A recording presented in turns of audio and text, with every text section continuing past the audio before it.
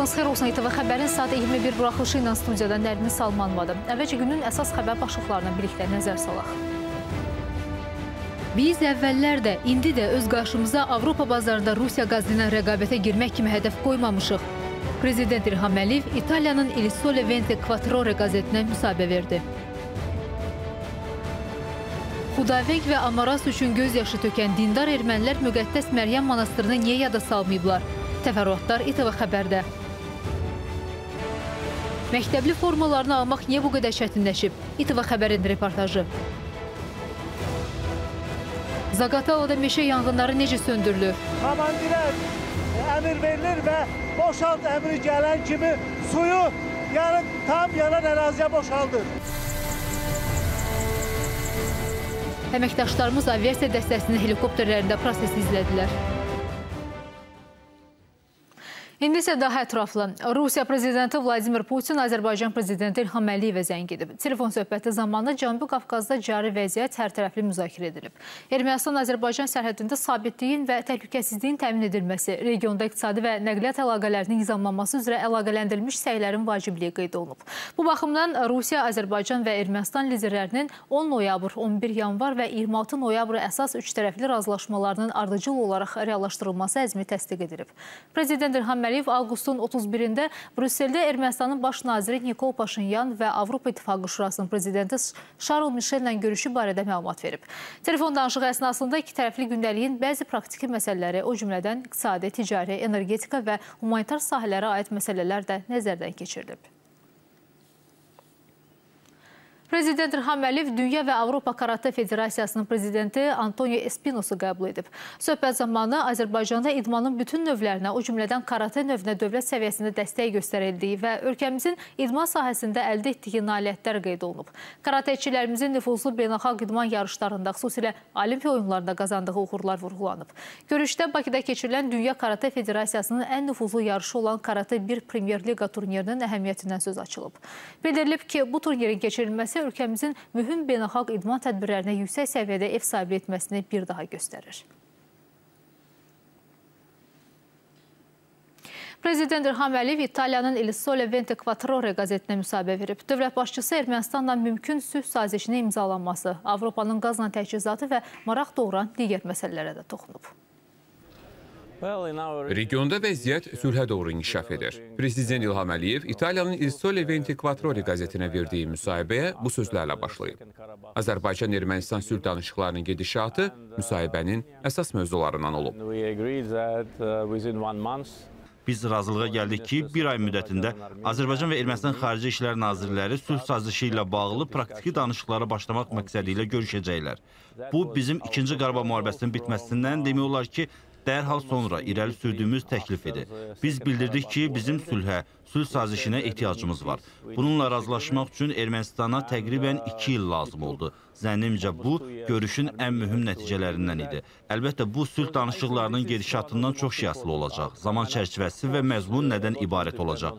Hesab edirəm ki, biz bir neçə ay ərzində sülh sazişini yekunlaşdırıb imzalaya bilərik. Ermənistan tərəfi eyni iradə nümayiş etdirsə, zənnimcə bu realdır. Biz sülh sazişinin üzərində qurulmalı olduğu 5 baza prinsipini irəli sürdük və Ermənistan bunu qəbul edib. Prezident İlham Əliyev son aylar Avropanı maraqlandıran mavi yanacaq məsələsinə də toxunub. Bildirilib ki, hazırda ölkənin 2,6 trilyon kubmetr qaz ehtiyatı var və potensial olaraq Azərbaycan Avropaya 20 milyard kubmetrdən artıq mavi yanacaq ixrac edə bilər.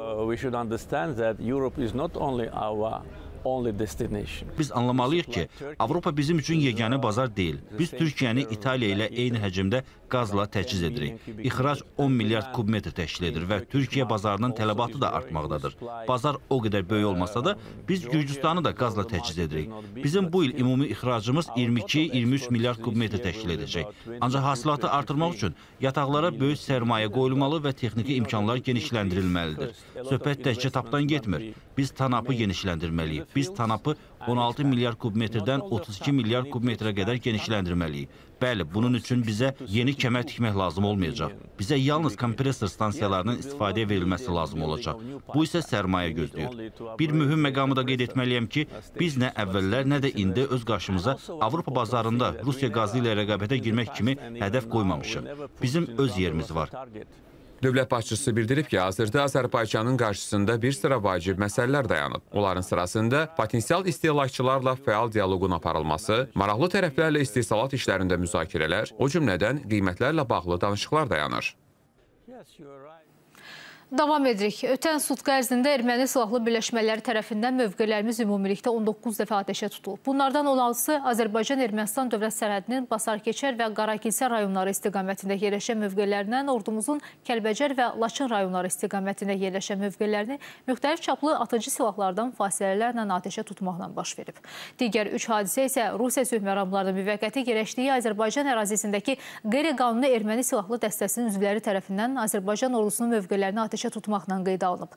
Müdafiə Nazirliyindən bildirilib ki, şəxsi heyət və texnikamızda itki yoxdur. Bütün hallarda Azərbaycan ordusunun bölmələri tərəfindən adekvat cavab tədbirləri görülür. Özlərini az qala tarixdə birinci xristiyan kimi təqdim edən ermənilərin inancı daxildən gəlmir. Əslində bu faktor hər hansı ərazilərin mənimsənilməsi, bu ərazilərdə özünü avtoxton əhali kimi qələmə verilməsi, ha belə qlobal miqyasda dini qarşıdurma yaradılması üçün ciddi siyasi təsir üsuludur.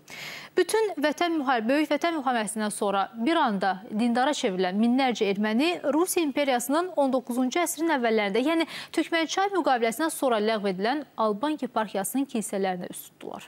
Maraqlıdır, Xudavəng və Amaras üçün göz yaşı tökən dindar ermənilər müqəddəs Məryəm monastırını niyə yada salmayıblar? 30 il sürən işğal zamanı Kəlbəcərdəki Xudavəng kilsəsinin və ya Xocavənddəki Amaras monastırının yerini belə bilməyən mənfur qonşularımız tarixi tikililəri siyasi təbliğat formasına çevirmək və müharibəni hibrid müstəvidə aparmaq istəsələr də buna imkan verilmədi. Baxın, bu Kəlbəcərin Vəng kəndi yaxınlığındakı Tərtər çayının sahilində yerləşən və 12-ci əsrə aid müqəddəs Bakirə və ya müqəddəs Məryəm kilsəsidir. Manastır kompleksi 17-ci əsrə qədər Alban yeparxiyası tərəfindən mərhələli şəkildə qurulub və istifadə edilib. Kompleks 2 ədəd 4,5-dən 3,6 və 6,6-dan 4,7 metr ölçülərdəki kilsələrdən, habelə 5,8-6 metrəlik sütun zalından və üstü örtülü eyvandan ibarət olub. 1993-cü ildə Kəlbəcərin işğalından sonra əraziyə gələn erməni vandalları monastır divarlarına yersiz müdaxilələr etmiş, dağıntılara ermənicə yazılar yazmış, spesifik Qriqoryan xaç rəsmi olan çay daşı yerləşdirmişlər. Sual yaranır ki, Xudavəng və Amaras üçün göz yaşı tökən, dırnaqarası uzunburun dindarlar bu monastırı niyə yada salmır? Bəlkə damı və tağları uçduğu və ya yolunu minaladıqlarına görə Axı Müqəddəs Məryəm Manastır kompleksi Xudavəngdən cəmi 15 dəqiqəlik yol üstündədir. Bu da Qərbi Azərbaycanın Dilican şəhəri yaxınlığındakı meşədəki digər qədimi Alban kilsəsindən qalanlar. Eyni dəsxət, yersiz müdaxilələr, dağılmamış zahiri divar hissələrində məntiqsiz və sıx Qriqoryan xaç təsvirləri və içindəki inəklər. Bu yəqin ki, Hindistandakı müqəddəs inəklərin qohumlarıdır ki, dırnaqarası dindar ermənilər onları kilsədən çıxarmağa cürət etmir. Görəsən bu ilin mart ayının 10-da Avropa Parlamenti tərəfindən qəbul olunan Qarabağda erməni mədəni irsinin məhv edilməsi ilə bağlı qətnaməyə səs verənlər bu kadrları görüblər? Yoxsa kör dırnaqarası xristiyan həmrəyliyinin əsas məqsədi Azərbaycana siyasi təzyiq göstərməkdən başqa bir şey deyil? Ermənilər isilli Rusiyalı iş adamı Ruben Vardanyan Qarabağın Rusiya sülh məramlarının müvəqqəti nəzarəti altında olan hissəsinə köçdüyünü açıqlayıb. İkinci Qarabağ müharibəsində Azərbaycanın tarixi qələbəsini həzm edə bilməyən Rusiyadakı erməni lobbisinin əsas figurlarına hesab olunan Vardanyanın bu addımının arxasında hansı məqamlar dayanır? Adı küllü miqdarda çekli pulların Rusiyadan Avropaya çıxarılmasına halanan və kriminal aləmin üzvləri ilə yanaşı çəkilən erməni milyarderin əsr kimliyi və məqsədi, eyni zamanda Rusiya və Ermənistan vətəndaşlığı olan şəxsin hansı əsaslarla Qarabağa yerləşdirilməsinə cəhd edildiyi Rusiya üzrə xüsusi müxbirimiz Fərid Əkbərın araşdırmasında. Erməni əsilli Rusiyalı milyarder Ruben Vardanyan Rusiya elitasının gizli pul kisəsi, ofşor şirkətlər sisteminin yaradıcısı, bir sözlə Rusiyadan milyardlarla vəsaiti xaricə çıxaran maliyyə fırıldaqçısı. İndi isə güya Qarabağ dərdindən Rusiya vətəndaşlığından imtina etmək məcburiyyətində qalan çoxdərdli erməni. Rusiyanın internet resurslarında məşhur olan Ruben Vardanyanın obrazı məhz belə cızılıb. İrəvanda doğulan Vardanyan ötən günlərdə Qarabağın Rusiya sülh məramlılarının müvəqqəti nəzarəti altında olan hissəsində peyda olaraq Telegram şəbəkəsi vasitəsilə dünya ermənilərinə video müraciət ünvanlayıb. 6 dəqiqəlik videoda Vardanyan özü üçün sadə olmayan qərar qəbul etdiyini, birdəfəlik Qarabağa köçdüyünü söyləyir. Dünya ermənilərini psixoloji və emosional olaraq çox pis vəziyyətdə olan Qarabağ ermənilərinə yardım etməyə çağırır. Qarabağı dünya erməniliyinin mərkəzi, xristianlığın beşiyi adlandıran erməni erməni əsilli iş adamı göründüyü kimi qərbdəkilərə yarınmaq üçün din amilindən istifadə etməyə cəhd edir. Я благодарен вам, потому что в России я добился Mən sizə təşəkkür edirəm. Çünki Rusiyada öz uğurlarıma nail olmuşam. Lakin mən öz üzərimə götürdüyüm riskləri dərk edərək Rusiya vətəndaşlığından imtina etmək və Ermənistan vətəndaşı kimi Arsaxa köçməklə bağlı qərar qəbul etdim. Bu qərarı mənim üçün vermək asan olmadı. Мне это решение далось очень непросто. Bu ilin yanvarın 20-sində Ruben Vardanyanın Amerika Birləşmiş Ştatlarının sanksiya siyahısına düşdüyü açıqlanıb. İndi Rubenin Rusiya vətəndaşlığından imtina etməsinin əsl səbəbi aydın olur. O Rusiyada milyardlar qazanıb və əlbəttə ki, Avropa və Amerika Birləşmiş Ştatlarına çoxlu pullar çıxarıb. İndi Vardanyan Rusiya qarşı sanksiyalara görə bu pullardan və daşınmaz əmlakdan məhrum ola bilər. Baxın, Vardanyan möhtəşəm qambit edir. O özünü elə göstərir ki, güya Qarabağlılara özünü qurban verir. Xocavənddən paylaşdığı video müraciətdə Vardanyan Ermənistan və Azərbaycan arasındakı münaqişə ilə bağlı Amerika Birləşmiş Ştatları və Fransanı fəal şəkildə tərifləməyə başlayıb. Bu ölkələrin səfirlərinə Şuşa və Hadruta səfər etmədiklərinə görə təşəkkürünü bildirib Ни армянский народ, ни азербайджанский народ между собой должен договариваться, да? Onun fikrincə Qarabağın taleyini Azərbaycanlılarla ermənilər, onlara qonşu olan Rusiya və Türkiyənin iştirakı ilə deyil, qərb imperialistlər həll etməlidirlər. Faktiki olaraq Vardanyan Moskva ilə Ankaranın birgə nail olduğu sülhün gəldiyi ərazinin taleyini uzun illər Rusiyaya məxsus milyardları köçürdüyü qərbin ixtiyarına verməyə çağırır. Beləliklə Vardanyanın Rusiyadan niyə qaçdığı məlum olur. Bunu erməni cəmiyyəti və xüsusilə də Rusiyanın erməni lobbisinin nəzarəti altında olan bəzi media resursları qəhrəmanlıq kimi qələmə versə də, Rubenin xaricdəki banklarda milyardlarla dollarını və daşınmaz əmlaklarını xilas etmək üçün bütün ermənilər kimi mövcudluğuna görə borclu olduğu Rusiyaya əslində xəyanət etməsi və bu ölkəni tərk etməsi gün kimi aydındır. Bizi maraqlandıran məsələ Ruben Vardanyanın Rusiyaya xəyanət etməsi deyil. Qarabağda erməni əhalinin müvəqqəti olaraq təhlükəsizliyini qoruyan Rusiya sülh məramlısının, yəni ki, rəsmi Moskvanın Qarabağ ermənisi olmayan birisinin hansı əsaslarla Azərbaycanda yerləşdirilməsinə icazə verməsidir. Fərid Əkbərov, Ramil Hüseynov, İctimai Televiziyanın Rusiya bürosu, Moskva. Türkiyə prezidenti Rəcəb Tayyip Ərdoğan Samsunda keçirilən Texnofest Qaradəniz festivalına çıxışı zamanı Yunanstana səslənib. Türkiyə lideri Yunanstana tarixə baxmağa məsləhət görüb. Ey Yunan, bak tarihe bak. Tarihe dön. Çok daha fazla ileri gidersen bunun bedeli ağır olur, ağır. Yunanistan'a bizim tek cümlemiz var. İzmir'i unutma. Adaları işgal etmeniz filan bizi bağlamaz. Vakti, saati geldiğinde gereğini yaparız.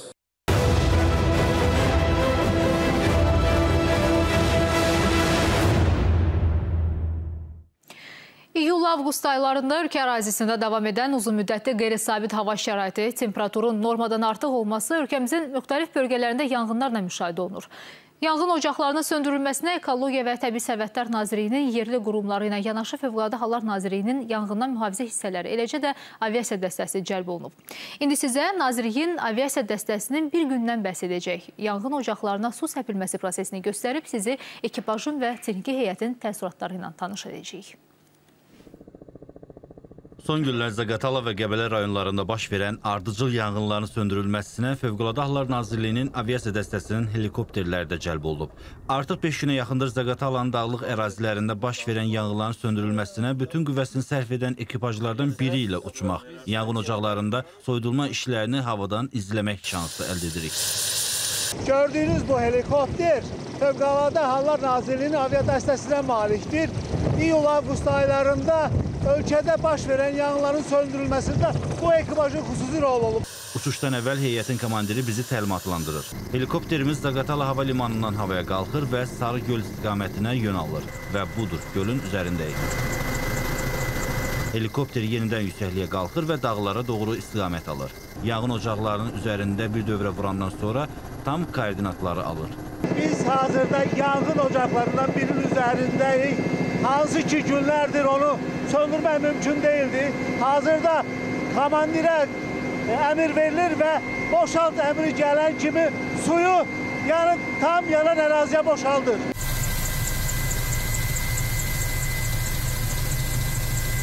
Temperaturun yüksəlməsi ekipajın işini çətinləşdirdiyindən daha iki dövrə vurandan sonra hava limanına qayıtmalı oluruq. Burada həm yanacaq doldurulur, həm də helikopterə texniki baxış keçirilir. Fürsətdən yararlanıb ekipajın rəhbərinə yaxınlaşırıq. Artıq 5 gündür yanğın davam eləyir. Son 2 gün ərzində yanğını nəzarət altına ala bilmişik.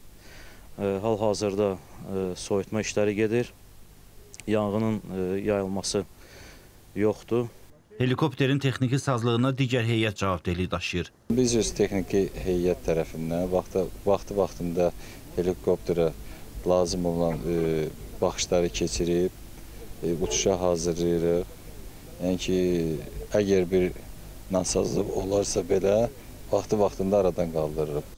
3 saatlıq birgə uçuşdan sonra ekipaj və texniki heyətlə sağollaşır, yollarının və uçuşlarının aydın olması diləyi ilə. Sərxan Kamallı, Rasim İslamov, İTV Xəbər, Zaqatalı.